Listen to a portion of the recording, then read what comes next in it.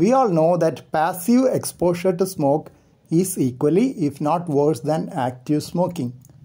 Only difference is that the quantum of smoke inhaled is likely to be lesser with passive smoking. This may not be very true in case of small children whose parents smoke. Cotinine is a metabolite of nicotine and estimation of cotinine levels can be used to assess the level of smoking better than a questionnaire due to obvious errors in individual assessments. Cotinine can be detected even up to a week after smoking.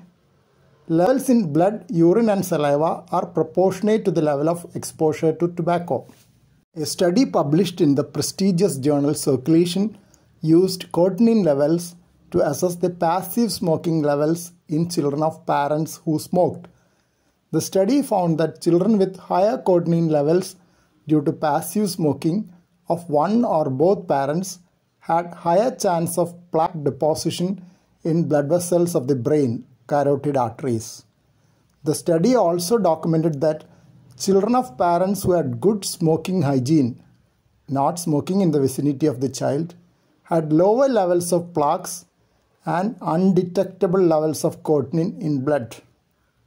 The participants were from the cardiovascular risk in young Finns study involving about 2500 children.